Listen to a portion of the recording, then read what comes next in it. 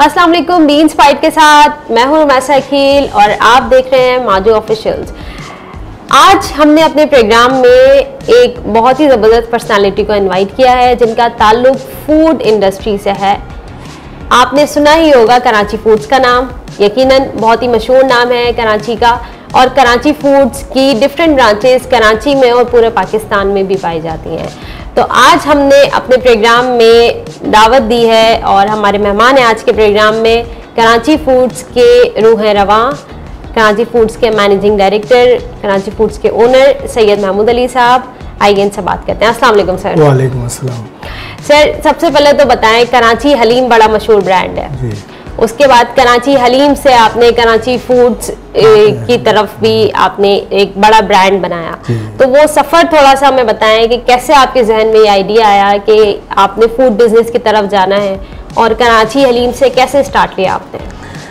असल में अ, मेरी जो है कहानी जो है वो स्टोरी वो ये है कि मैं बचपन से मेरे जहन में ये था कि मैं तरक्की करूँगा।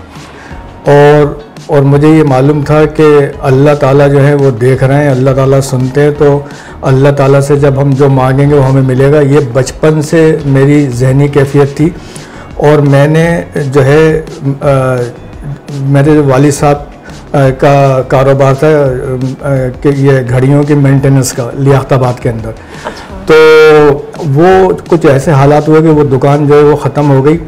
और हम एक जो है वहाँ पे नाजाबाद दो नंबर में रहते थे। और वो जो है वो वो भी आबादी कच्ची आबादी थी। और उसमें और गुजारा चल रहा था मैं बहुत छोटा था तकरीबन कोई सात आठ साल का। तो वो जब दुकान ख़त्म हो गई तो हालात घर के और ख़राब हो गए। और फिर मैंने जो है वो मैं स्कूल में पढ़ता था जो है फेटल कैपिटल एरिया में। मैं पढ़ता था तो फिर मेरा जहन अच्छा अच्छा वो हुआ ये कि जब वो दुकान ख़त्म हो गई तो घर के हालात ख़राब हुए तो मैंने फिर अखबार बेचे। नाइनटीन सिक्सटी फाइव की जब जंग हुई तो मैंने उसमें अखबार बेचे और आगाज़ अखबार एक होता था और जंग अखबार। तो जंग अखबार में जो है वो लेता था दस रुपये के सौ। अच्छा। हाँ और आगाज़ अखबार में लेता था चार रुपये के सौ। आगाज़ अखबार जो था वो एक आने का बिकता था छः पैसे का। और जंग अखबार पंद्रह पैसे का बिकता था। और और, वो मैं जो है रीगल चौक से ये अखबार मिलते थे और मैं लियाकताबाद पैदल बेचता हुआ आता था। अच्छा। और मैंने जो है तकरीबन उस ज़माने में अगर मैं सर्विस करता और मैंने सर्विस भी की थी तो एक रुपये रोज़ पे बच्चों को रखते थे और दो रुपये बड़ों को देते थे। लेकिन मैं जब अखबार बेचता था तो तकरीबन मैं पाँच से छः और सात रुपये तक कमाते था। ज़बरदस्त। तो मैं घर- कम अर्निंग थी उस। हाँ, और- या और- उस टाइम में ये एक अमाउंट कंसीडर होता था। हाँ बहुत बड़ा होता था और। और पूरा पूरा मेरी मैं मेरी उम्र तकरीबन 11 साल थी उस वक्त जब मैं अखबार बेच रहा था और मैं पूरे घर को सपोर्ट करता था। पूरा घर चलाता था। वालिद साहब जो थे उनको सर्विस नहीं मिल रही थी दुकान बंद हो गई थी और एक मेरे बड़े भाई थे वो भी मकसद काम करते थे। और मैं भी और वो भी मेरे साथ अखबार बेचते थे।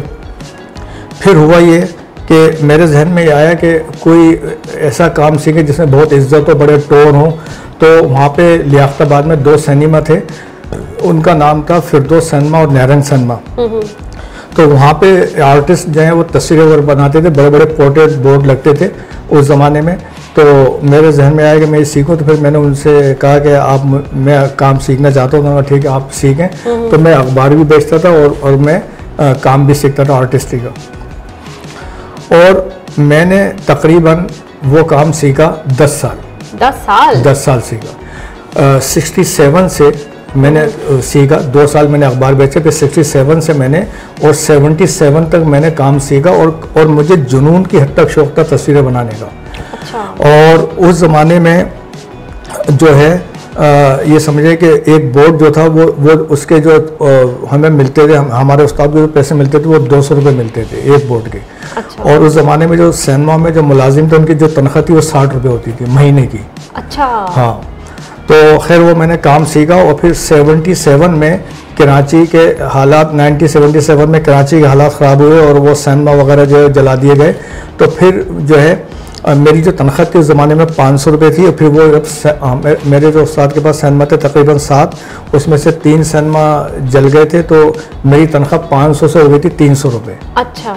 तो तीन सौ रुपये हो गई थी तो फिर ये हुआ कि लाजमी बात है कि आमदनी दो सौ रुपये कम होगी तो फिर मैंने कैनुप में सर्विस की कराची न्यूक्लियर पावर प्लांट में।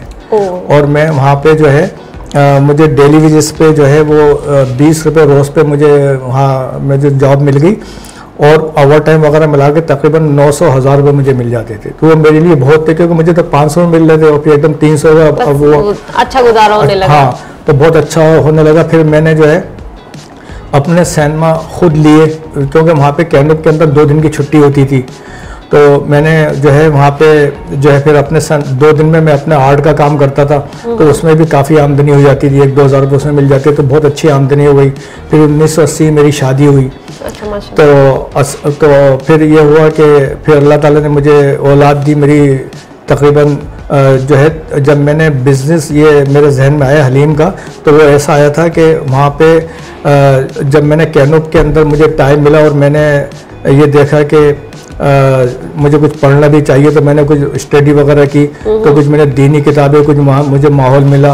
तो फिर उन्होंने बताया कि भाई ये तस्वीरें बनाना सही नहीं है ये रोज़ी सही नहीं है क्योंकि सिनेमा लाइन की जो सैनमा हॉल की जो तस्वीरें होती हैं वो अजीब गरीब होती हैं तो उसमें माशरे पर एक असर पड़ता है गलत। तो वो भी एक जहन में बात थी कि हम हम इस मुल्क को अब हम हम अपनी ज़ात से लोगों को क्या दे रहे हैं और इसका क्या और और हम हम जो है वो फ़ायदा पहुंचाएँ किसी के लिए नुकसान का बाइस ना बने। तो ये एक एक आदमी की अपने दिल की एक आवाज़ होती है तो फिर वो जहन में मेरा आया तो फिर हम मेरी वालदा साहिबा जो थी वो हलीम वगैरह अक्सर घर में बनाती थी और अच्छा। हाँ और क्या? रेसिपी थी वालदा साहिबा की। और मेरी जो वाइफ हैं उन्होंने हलीम बनाई।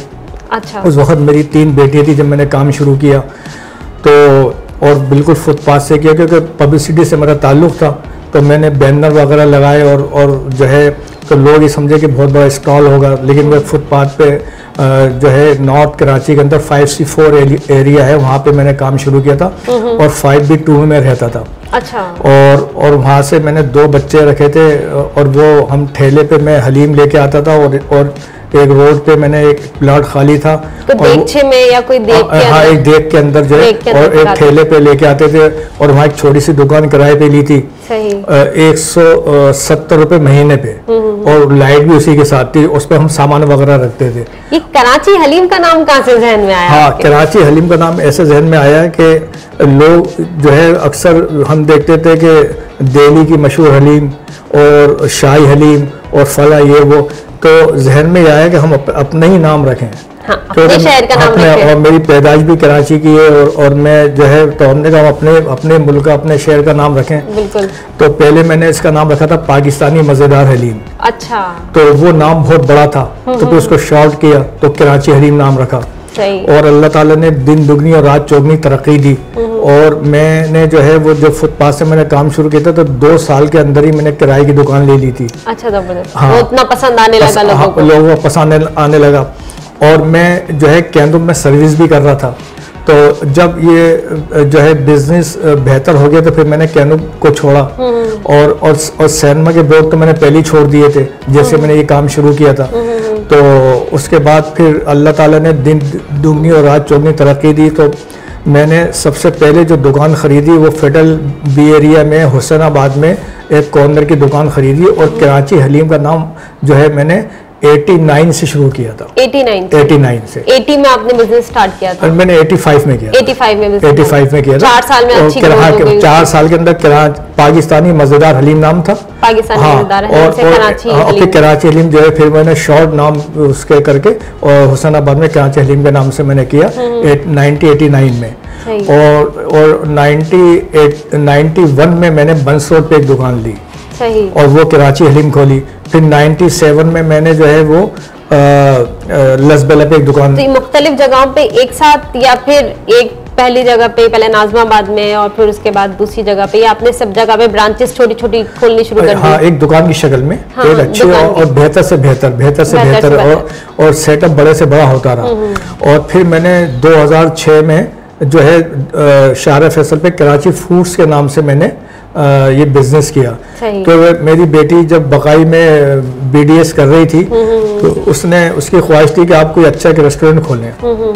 तो मैंने फिर जो है वो अपनी बेटी की ख्वाहिश पे मैंने कराची फूड्स जो है शारा फैसल पे खोला।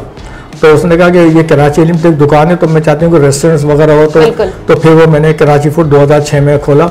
और फिर अल्लाह ताला ने मुझे जो है जब मैंने हलीम का काम शुरू किया तो मेरी तीन बेटियाँ थी फिर अल्लाह ताला ने मुझे एक बेटी और दी और चार बेटे फिर दिए। तो मेरे आठ बच्चे हैं माशाल्लाह। और मेरी जो एक सबसे बड़ी बेटी है उसने मास्टर्स किया इस्लामियात में। गोल्ड मेडल है वो। और एक बेटी मेरी जो उससे छोटी है उसने बीडीएस किया है। और उससे जो छोटी है उबैदा वो, आर्किटेक्ट है। और हाँ हाँ, शोबों से ताल्लुक है। जैसे उनकी अपनी पसंद और चॉइस जो भी जहन था। और एक छोटी बेटी मेरी उसने एमबीए किया है। और मेरे जो है दो बेटे मेरे इंग्लैंड से एमबीए करके आए और एक बेटे ने जो है वो कराची में जो है कराची यूनिवर्सिटी के अंदर एमबीए किया है और एक सबसे जो छोटा बेटा है वो सीबीएम में अभी पढ़ रहा है एमबीए में। अच्छा सर शुरू में जब आपने एक छोटे से समझो एक जगह से स्टार्ट लिया और बेचना शुरू किया तो शुरू में ब्रांडिंग कैसे की आपने? असल में ऐसा था कि जब भी आप कोई भी काम करते हैं और वो तरीके से हाइजेनिक और प्रॉपर तरीके से होता है तो वो एक तो लुक वाइज बहुत अच्छा होता है। बिल्कुल। अच्छा जब आप ईमानदारी से काम करते हैं तो उसमें जायका भी आता है। तो फिर अल्लाह ताला की बरकत होती है। अच्छा फिर आप कम मार्जिन पे काम करते हैं तो वो सेल ज़्यादा होती है। तो हम जब जब मैंने ये काम शुरू किया था तो मुझे अच्छी तरह से याद है कि एक पूरी देग हम सेल करते थे तो उसके अंदर सौ रुपये प्रॉफिट होता था। अच्छा। हाँ अगर जैसे किसी के पास दो रुपए की प्लेट होती थी तो अगर कोई बंदा आ गया और वो एक बड़ा बर्तन लेके आ गया कि इसमें दो रुपए की दे दो तो उसमें उसमें तो हम जो है वो तीन चार रुपए की हलीम दे दिया करते थे और कोई प्रॉफिट नहीं होता था उसके अंदर। अच्छा बहुत से होते थे एक रुपए की अच्छा, दे तो सेट नहीं किया हुआ था कि नहीं बस पचास की प्लेट है तो बस पचास नहीं हाँ, सेट किया था हमने। हाँ सोलह रुपए किलो के हिसाब से हमने अच्छा, किया किलो के उस उस जमाने में भी किलो के हिसाब से सोलह रुपए किलो। और एक डबल प्लेट जो थी वो चार रुपए की थी। जिसके अंदर तकरीबन हलीम आता था ढाई सौ ग्राम तीन सौ ग्राम। तो इस तरह से जो ना वो हमने किया था लेकिन कोई अगर एक रुपए के भी लेता था तो हम तो उसको आप दे दिया करते हाँ।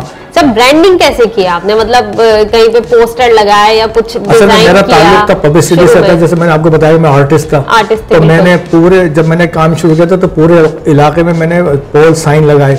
अच्छा। पोल बैनर लगाए और, और बैनर वगैरह लगाए और उस पर बाकायदा पब्लिसिटी की।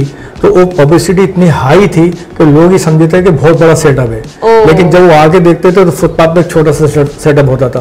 तो लोग जो है हैरान तो होते वो थे है और वो हमेशा आता है जो भी आप सीखते हैं वो आपके काम आता है। है। तो अब जैसे मेरी बेटी आर्किटेक्ट है तो जितने भी मेरे सेटअप है तो उसके अंदर एक एक तस्वीर नज़र आती हम्म, है एक आर्ट नज़र आता है एक लुक होता है उसका। बिल्कुल। तो ये चीज़ वक्त के साथ साथ जो है वो होती है। बिल्कुल ऐसी है। अच्छा सर कराची फूड्स माशाल्लाह एक ब्रांड है सब लोग जानते हैं इसको। इंटरनेशनल लेवल पे ले जाने के लिए आप इसमें क्या कर रहे हैं? कब आ, हम इसको इंटरनेशनल ब्रांड हाँ, के तौर पे देखेंगे? असल में हाँ इंशाल्लाह ताला देखें ऐसा है कि पाकिस्तान में तो सबसे बड़ा शहर कराची है। और पाकिस्तान में अगर आप काम कर रहे हो कराची में काम कर रहे हो तो यहाँ पे पेशावर भी पंजाब भी सभी है यहाँ पे कराची के अंदर। तो आप एक मुकम्मल आपने पाकिस्तान में काम कर रहे हैं। डिफरेंट मिलेंगे। और पूरे पाकिस्तान की अक्कासी है यहाँ पे। बिल्कुल तो अब ये है कि बाहर जाने के लिए अभी मेरे बेटे हैं वो ये सोच रहे हैं कि वो दुबई और या जो है तुर्की वगैरह में काम करें। तो- हाँ, तो, क्योंकि सोच मेरे दो बेटे इंग्लैंड से पढ़ के आए और मेरे बेटे पाँच साल वहाँ उन्होंने पढ़ाए। है तो वो माशाल्लाह वहाँ से वाकिफ हैं और लैंग्वेज वगैरह उनको आती है हम्म, और उनके लिए कोई प्रॉब्लम नहीं होगी क्योंकि अब असल में बात यह है कि जिसको अल्लाह ताला इज़्ज़त देना चाहते हैं या अल्लाह ताला उसको उसकी ग्रोथ बढ़ाना चाहते हैं तो उसके लिए एक आसानियाँ कर देते हैं। जैसे कि मेरे चार बेटे हम्म, हैं और दो बेटे इंग्लैंड से एम बी ए करके उन्होंने पाँच साल वहाँ पढ़ा हम्म, और वहाँ पे उन्होंने पढ़ाई भी खुद अपने पैसे से की है। वहाँ उन्होंने काम किया और अपनी फ़ीस दी है अच्छा हाँ ज़बरदस्त माशाल्लाह क्योंकि मैंने इनसे ये कहा था। इंडिपेंडेंट हाँ हाँ मैंने इनसे ये कहा था कि मैंने शुरू में इनको एक बात बताई कि सत्रह साल में मोहम्मद बिन कासिम ने सिंध फतह किया था। तो तुम तो कुछ फतह करो। तो तो इन्होंने जो है वो वहाँ पे बाकायदा मजदूरी की राइडर रहे किसी फ़ूड बिज़नेस में और कई जगह इन्होंने काम किया और बाकायदा इन्होंने अपने पैसे से पढ़ा। माशाल्लाह। ये मेरी बड़ी फख्र की बात है कि इन्होंने पैसे मुझसे नहीं लिए। हाँ। चलें सर तो अब ये है कि अब जो हम बाहर काम करेंगे पाकिस्तान से बाहर तो इंशाल्लाह ताला ज़रूर करेंगे और हमारी कोशिश अब जारी है और हम टर्की में में या लंदन में काम करेंगे। हाँ, वहाँ पे एक साउथ हॉल है वहाँ में फ़ूड स्ट्रीट बहुत बड़ी है वहाँ हम्म। वहाँ भी इनका जहन है। लेकिन अन करीब इंशाल्लाह ताला थोड़ा सा हालात सही हो जाए। तो फिर अभी ये जैसे हाँ, अभी कोरोना वगैरह बीमारी वगैरह जो हुई थी तो उसमें थोड़ा सा हाँ, पीछे हो गए। तो हाँ, हाँ, वरना तो हम अभी अभी तक खोल बिज़नेस चुके खोल चुके होते लेकिन इंशाल्लाह ताला हमें पूरा हमारा जहन है कि हम अपने मुल्क का नाम रोशन करें। और एक ऐसा फ़ूड के अंदर अपना नाम रोशन करें और और लोगों के लिए आसानी पैदा करें। क्योंकि हर पाकिस्तानी में वही पाकिस्तानी है समझ लें और मुल्क से मोहब्बत करता है जिसकी वजह से मुल्क को इज़्ज़त मिले। बिल्कुल ऐसी और हम भी बहुत मिस करते हैं कि। जब हम देखते हैं कि बड़े बड़े नाम इंटरनेशनल पाकिस्तान में भी उनकी ब्रांचेस होती हैं दुनिया भर में होती हैं। तो हम चाहते हैं कि हमारे भी ऐसे ब्रांड हो स्पेशली फ़ूड ब्रांड जो है वो दुनिया भर में उनके ब्रांचेस खोलें। तो बहुत हाँ, अच्छा तो लगेगा ये हाँ। हमारी टर्की में भी ब्रांच खुलेगी कराची। फूड्स की और दुबई में भी खुलेगी तो वो डेफिनेटली मुल्क के लिए भी एक बड़ा ज़बरदस्त इनिशिएटिव होगा। और मैं जो है ख़ास तौर से ये कहना चाहता हूँ कि बिज़नेस से बेहतर कोई चीज़ नहीं बिल्कुल ऐसी और और, और सर्विस जो है क्योंकि मैंने मैंने जैसे आपको बताया कि मैंने कैनुक में सर्विस की। मैंने आर्ट का काम भी किया। तो आर्ट के काम को भी मुझे पता है कि उसमें क्या होता है और, और, और सर्विस में क्या होता है और बिज़नेस आपके सामने जो मैं कर रहा हूँ। तो असल में बिज़नेस का जो सबसे बड़ा फ़ायदा ये होता है कि जब सर्विस करने वाले की जो औलाद होती है और वो अपनी ज़िंदगी का आगाज़ शुरू करती है तो वो वहीं वहाँ से शुरू करती है जहाँ से उसके वालिद ने किया होता है। जैसे कि असिस्टेंट जूनियर असिस्टेंट असिस्टेंट फिर आखिर में जाकर वो डायरेक्टर बनता है। तो बिजनेसमैन की जो औलाद होती है वो वहाँ से शुरू करती है जहाँ उसका बाप ख़त्म कर रहा होता है यानी वो डायरेक्ट डायरेक्टर बनता है। बिल्कुल। तो बिज़नेस का सबसे बड़ा फ़ायदा ये है कि आप अपनी नस्ल को एक अच्छी चीज़ दे के जा रहे होते हैं। बिल्कुल है। सर आखिर में हमारे स्टूडेंट्स को आप कोई पैगाम देना चाहें तो? पैगाम ये देना चाहता हूँ ये जितने भी स्टूडेंट्स हैं और जो यंग हैं बच्चे हैं कि एक तो बात यह है कि शर्म जो है वो कभी नहीं करना चाहिए और और हलाल के अंदर स्पेशल जो है फ़ख्र के साथ काम करना चाहिए और और जो है, तालीम के बगैर कोई काम भी आप कंप्लीट नहीं कर सकते। और बिज़नेस करने का और और सर्विस करने से बेहतर है कि आप बिज़नेस करें। और बिज़नेस के लिए कोई बड़ी रकम की ज़रूरत नहीं होती, सिर्फ़ एक जज्बे की ज़रूरत होती है। आप ईमानदारी से काम करें और एक तो ये है कि सबसे बात वो बहुत जल्दी पॉपुलर होगा और और लोग उसकी जो है कदर करेंगे। और और ईमानदारी जो है वो तरक्की की बेहतरीन निशानी है। जैसा कि मैंने आपको बताया कि मैंने फुटपाथ से काम शुरू किया था और आज कराची के अंदर तकरीबन जो है छः ब्रांचें हैं और और माशाल्लाह और लोगों के लिए आसानी है। और जैसे कि अभी मैंने बताया कि जैसे बंस रोड में और फेडरल एरिया में, कराची एरिया में और मैंने अभी हाल ही में बंस रोड में खोली है तो उसके अंदर रेट वही हैं जो, क्या नाम बंस रोड के रेट है और फेडरल एरिया के। असल में जब आप प्रॉफिट कम लेते हैं तो आपकी सेल बढ़ती है और, बिज़नेस का सबसे बेहतरीन फार्मूला ये है कि नफ़े में नुकसान।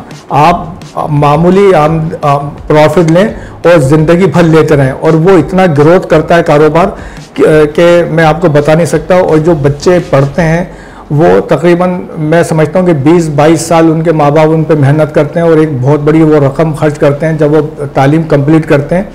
और जब वो बिज़नेस करते हैं तो उनके जहन में ये होता है कि हम फ़ौरन तरक्की कर लें, ऐसा नहीं होता।